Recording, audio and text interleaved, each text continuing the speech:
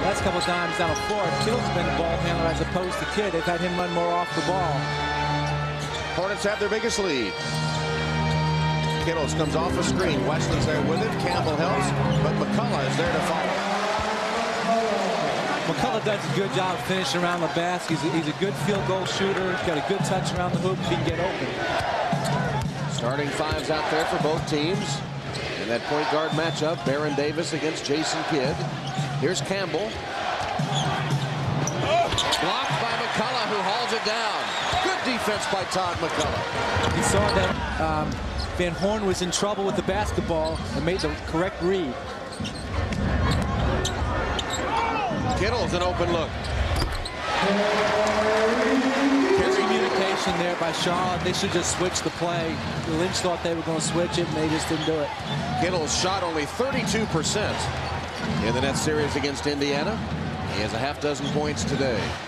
Again, Charlotte established that low post game. Elden Campbell, offensive foul. That's his fourth. That is a big call to go against Charlotte right there. Paul's going to probably have to go to this bench and give, El give Elden a rest. Elden tries to spin baseline off. I didn't really necessarily see the hook. I would have thought more was coming was a traveling call, but uh, Eddie Rush felt like he hooked him on the play. Gave him a little shoulder bump, but that's normal for that low post play, and he didn't really seem to hook him.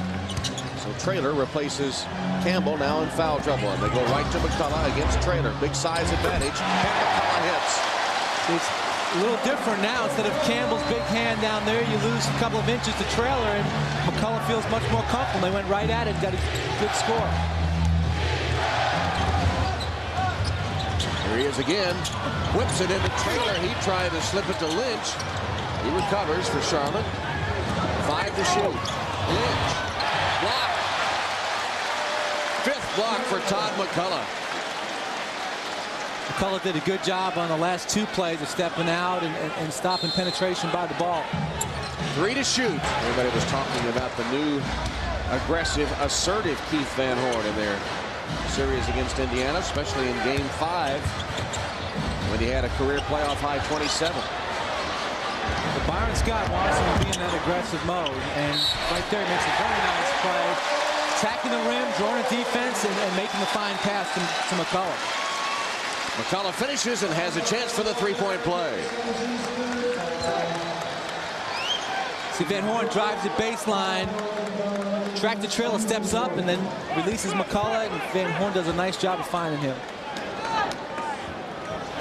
Todd gets the three-point play. He has 10 points. He had three in the first half. But attacking here in the third quarter sends Elden Campbell to the bench in foul trouble and taking advantage of the lack of size. Davis for three. Long rebound to Traylor. Nice pass to P.J. Brown. Good help, though, from both Van Horn and MacCulloch. Well, MacCulloch's been a real defensive presence this quarter. Three shots blocked for him. Does a good job coming over as a secondary defender. Van Horn stays straight up. Gets P.J. Brown to try and finish over him, but sets him up for the block by MacCulloch. An unlikely hero for the Nets in this third quarter in Todd MacCulloch. Offensively and defensively. He has six, no, five of the eight block shots. See what Magloire out right now and Campbell in foul trouble. Charlotte has no inside presence. And Brown has nine points.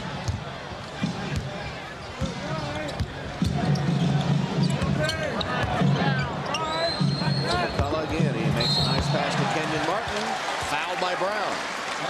Well, that was, that was a great, a great pass. MacCulloch just doing a terrific job.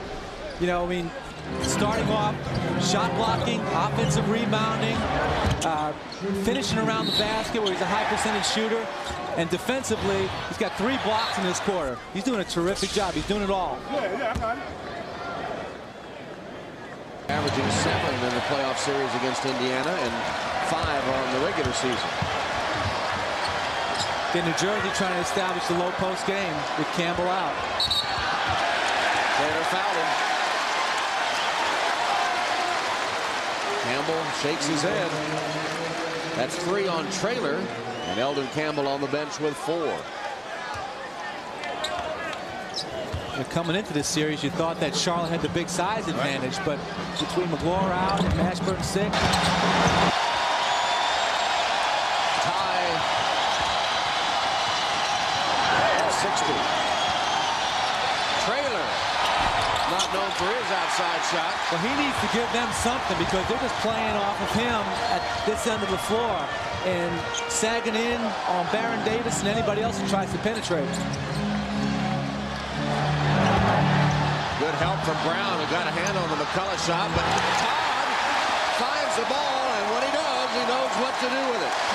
He has great hands and he's got great finish around the basket.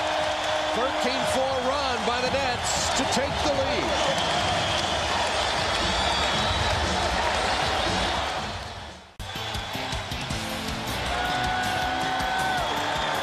You know, Tom, sometimes these big guys wonder why their coaches had them do these figure eight drills, but look at this ball handling move by Todd MacCulloch. The uh, third quarter comeback for the Nets, led by Todd MacCulloch. He's hit four of five. His only missed shot, he rebounded and put back in. He has nine points, four rebounds, and two blocks in the third quarter. And it also points up how foolish was the flagrant foul by Jamaal Magloire, already shorthanded without the leading scorer Jamal Mashburn, to take himself out of game one of the series. To deadlock the score at 62.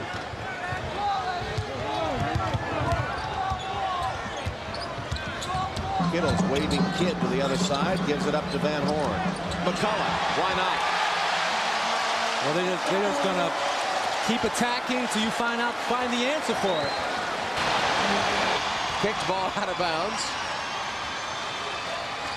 Well, the Todd MacCulloch show continues right here. They swing the ball to the weak side. He gets a pick, flashes into the lane, and with a nice finish. Looks like Shaq. He thinks he's got Shaq in there against uh, his team. As the uh, Hornets have no answer for Todd MacCulloch in the third quarter. Elden Campbell in foul trouble. Suspended. You know, very capable as an outside shooter right now. It's all they run is plays to develop outside shots or pick and rolls.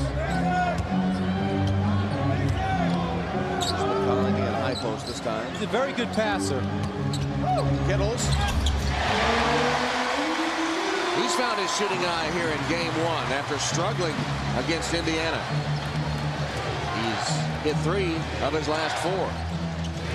MacCulloch had him stifled down there in the low post. Tractor Trail had no place to go, and Jason came down and gave Baron the wide open three. Because why would you ever double Robert Traylor?